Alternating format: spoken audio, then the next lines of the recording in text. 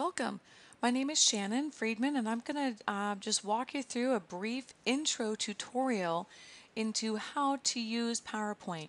So as you can see from the screen in front of you that when you open up PowerPoint, when you click on that icon, it will open up into this format. So you have a choice to choose some templates, but most of the time I choose blank presentation. So you would click on blank presentation now.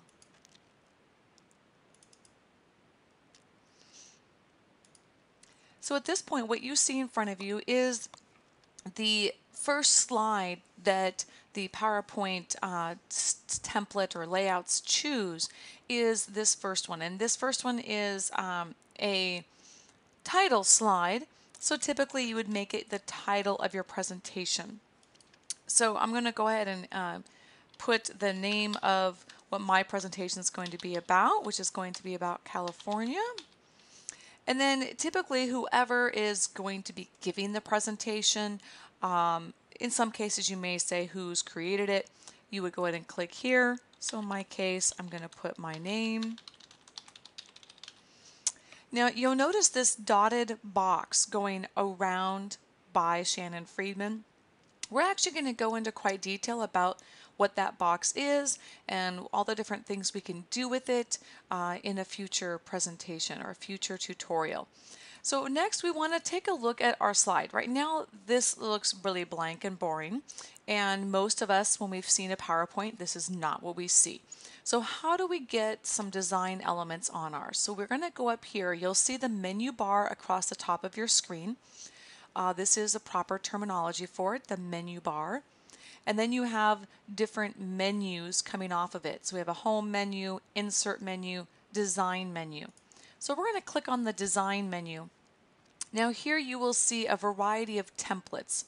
Now in some situations, and I could talk a lot more about this, um, in some situations I don't really like templates. But with PowerPoint, they can be a really great starting point, um, particularly because there is still such flexibility within the template. Whereas when I'm using a Word document template, I really don't like those. This is not so bad. So you'll see some options. Now, you notice these little arrows going up, down, and then the extra one that has uh, a line above it. You'll see that I'm hovering there. And when I hover, um, a pop-up dialog box shows up. And in this case, it's telling us what it is and what the options are. So in this case, it's more.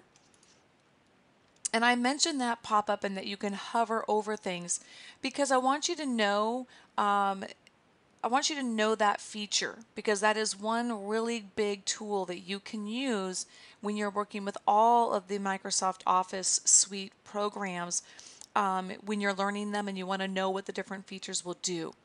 Uh, so you'll see there's a variety of templates here.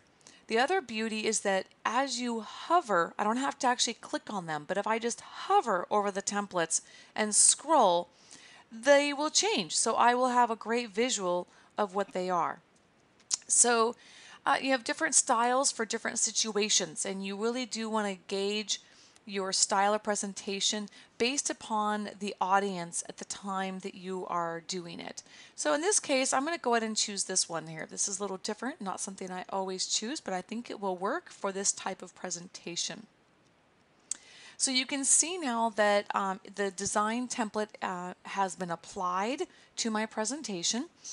And I'm going to go ahead and stop there and take a moment to show you how to save. But before I do that, I will tell you that PowerPoint is an amazing tool and there is a lot that we can do with it and I will have some future tutorials to teach you um, so you will learn how to use them. So in order to save this, we would go to File. So we go up here to the File menu and uh, I always, always highly encourage everyone to do Save As. That way you can really keep track of where your file is going. So in this case, um, most of us are going to choose computer unless you are using a cloud um, a cloud saving option. And in my case, I'm going to put it in my virtual vacation folder. It really depends upon where you want it to go. Uh, for teaching purposes, I'm going to show you how you would browse. So if, if you don't see where you want it saved right there, you click Browse. And then over here on my left-hand side, I'm going to locate the uh, folder that I wanted to go in. So in my case, sometimes you have to dig a little bit to get to the actual folder you want. So um, I have a Shannon folder, but within my Shannon folder, I have all of these others. And I want this video to go on my Funcation folder, and it's under my virtual vacation category. So now you'll see it here, and I'm going to call it California. That's fine. So mine is being saved there. All right, so I'm all saved and we are finished. Please uh, feel free to check back for more videos. Have a great day, everyone.